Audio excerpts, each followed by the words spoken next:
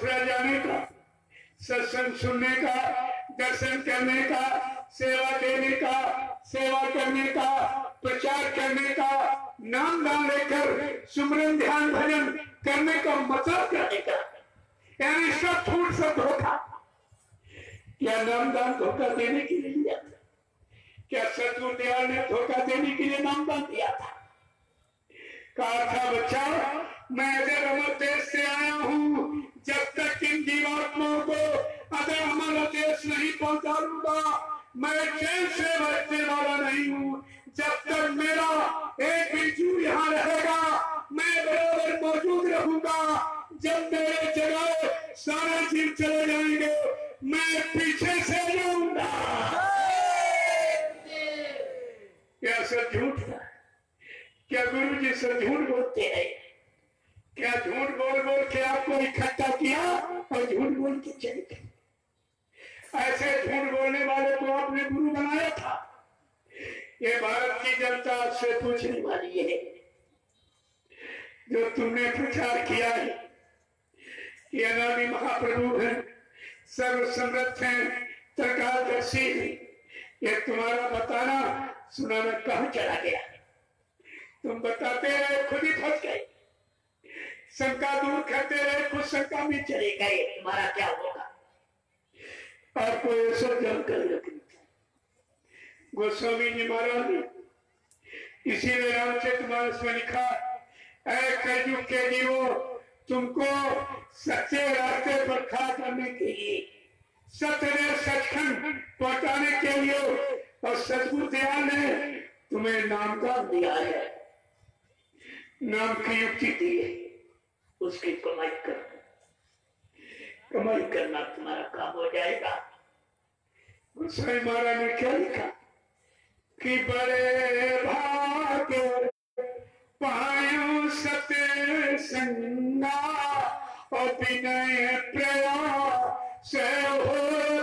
भंगा उनके बड़े भाग्य हैं, जिनको आप आपकी मानव जीवन में दयाल का सत्संग जो भवसागर से पार करने वाले वचन इनमें कोई प्रयास नहीं करना, कोई परिश्रम नहीं करना। बिना प्रयास हो भंगा, बिना किसी प्रयास के ही जीव भवसागर पार हो जाएगा। अगर सतगुरु के बच्चों पर और सतगुरु पर विश्वास करेगा। इतनी बड़ी चीज़ लिखी आगे गोस्वामी महाराज क्या लिखते कि धन घड़ी ईश्वर जब सत संगा और धन्य जान ये तो जब भक्ति अपना और मानव जीवन की घड़िया धन्य जिस घड़ी में समृद्ध दाता दयालु के सत्संग वचन सुनने को मिल जाए, जो वचन काल माया के देश से बचाने के लिए। तो बड़ी धन्य मिल जाए। एक जन्म माँ बाप से आप दूसरा जन्म यह शरीर का जन्म माँ बाप से हुआ है। जीवात्मा के कल्याण के लिए जन्म सतगुरु के यहाँ नामदान मिला है, दूसरा जन्म। ये नामदान मिला, दूसरा जन्म आपका हुआ। जीवात्मा ने परमात्मा से मिले। लेकिन जब तुम्हारी समझ में आ जाए तब तुम आगे क्या कह? कि राम कथा के अधिकारी और जिनको साथ ये संगत आती प्यारी। गोसाई महाराज कहे के वचन देखिए आप। कहते हैं, कथा हरि कथा राम कथा कृष्ण कथा ये सुनना, सुनाना उनके अधिकार क्षेत्र में आता है, जिनको सत्संगत प्यारी हो। ये सुनने सुनाने वाले बेचारे सत्संग जानते नहीं, कुछ नहीं मालूम। पार्वती ने भगवान शंकर से पूछा कि भगवान, हमें सच्चा लाभ कहाँ मिलेगा? मैं मंदिर जाऊँ, कि मस्जिद जाऊँ, कि गंगा नहाऊं, कि तीर्थ व्रत हवन तक पूजा पाठ यज्ञ करूँ हमें सच्चा लाभ कहाँ मिलेगा? भगवान शंकर क्या कह रहे हैं? पार्वती, ये सच्चा लाभ नहीं। शरीर झूठा है नाशवान है क्षणभंगुर है, एक दिन मिट्टी में मिल जाएगा।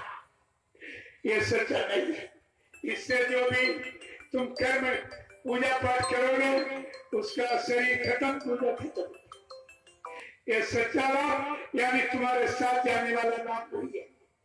सच्चा लाभ क्या है? कि गिरजा संत समागम।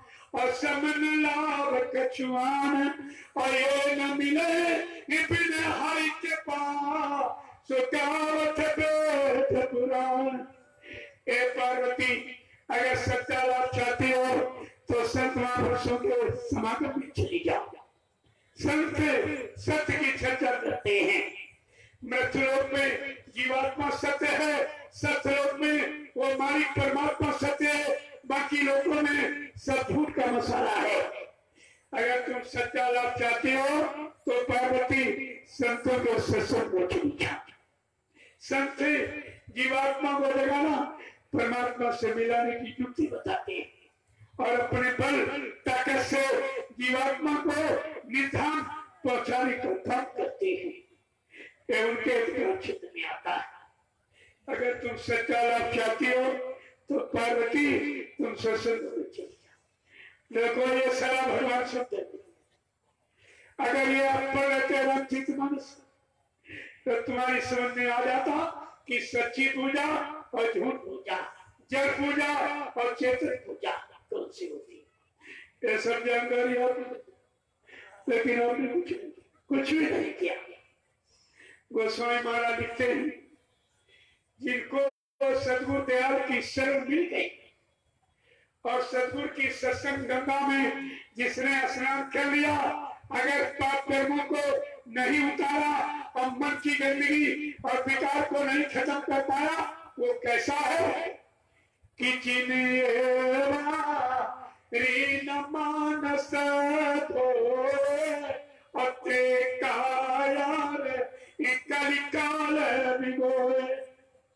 जिन्होंने समझ सदगुरु की, शरण भी पाली सत्संग गंगा में नहार भी लिया, लेकिन मन की गंदगी विकारों को, कर्षित भाव विचारों को नहीं हटा पाया। वो मानो इस भूमि पर का भार है और इस कलयुग में कारण है कर इतनी बड़ी सत्संग की महिमा। क्या कहा? ताथे वर्ग अपवर्ग सुख। इधरी तुला एक अंग और तुले नताही इस सकल मिली और जो शुक्लो सत्संग। कितनी बड़ी महिमा होता है गोस्वामी हमारा रामचरित मानस का तराजू में दो पल्ले। एक पल्ले पर संसार शरीर के सारे भौतिक सुखों को चढ़ा दो। लेकिन कहा है, सत्संग का पल्ला फिर भारी माना जाता है। प्रेमियों संसार में शरीर के कितने भौतिक सुख हैं? सात सुख। प्रथम सुख निरोगी काया, दूसरा सुख हो घर में माया, तीसरा सुख कुलवंती नारी, चौथा सुख सुताज्ञाकारी, पंचम सुख हो सुंदर भाषा, छठम सुख हो सुंदर भाषा और सप्तम सुख हो मित्र घनेरे। ऐसे अंदर नहीं जब पहुँचे सात सुख आपके। भौतिक सुख शरीर के। जिसमें आपके पास पहला सुख नहीं लिखा प्रथम सुख निरोगी काया सब बीमार। शरीर में कोई ना कोई रोग सबके जब भौतिक सुख का पहला सुख और बाबा जी ने आध्यात्मिक सुख, आध्यात्मिक आनंद शाश्वत आनंद आत्मानंद, परमानंद आपको देने का वादा किया वो कब मिलेगा। वो कौन देगा?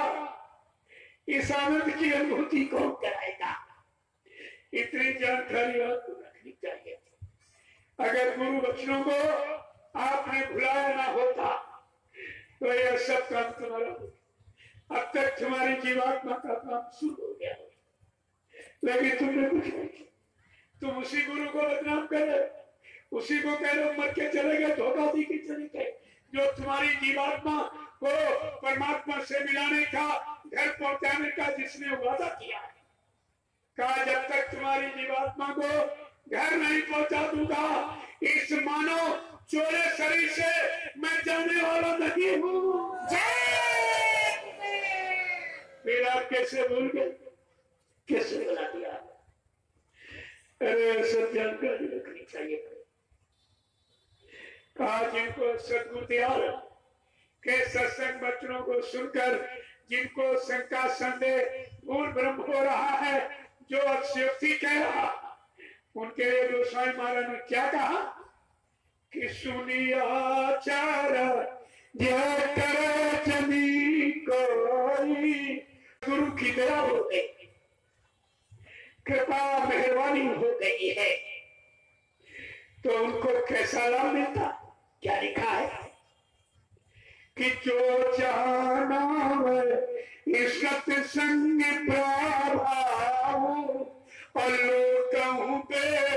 दयान पाओ। अगर की कृपा मेहरबानी पाने का पात्र बन गया है, उसको वो लाभ मिलेगा जो चार इकट्ठा पुराणों के सुनने में नहीं है, वो सदगुरु के बच्चों में लाभ है। देखे रामचरित मानस उठाकर सभी।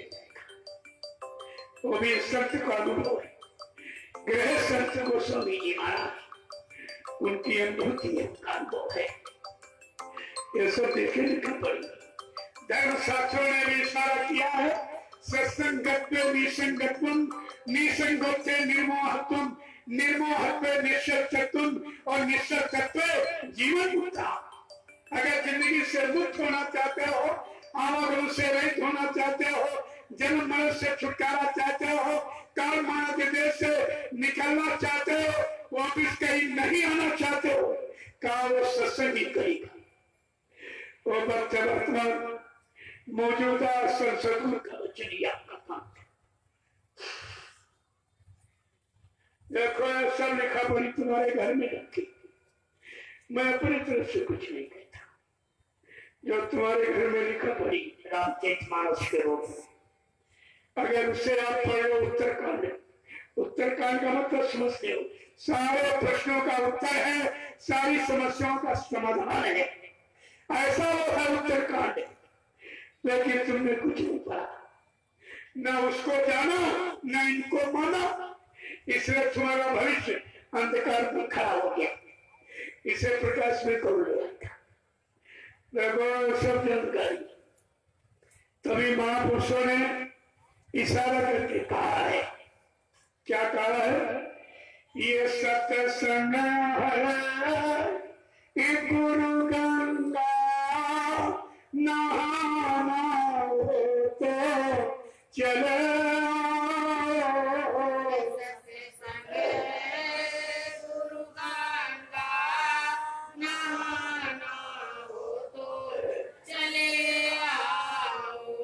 ये सत्संग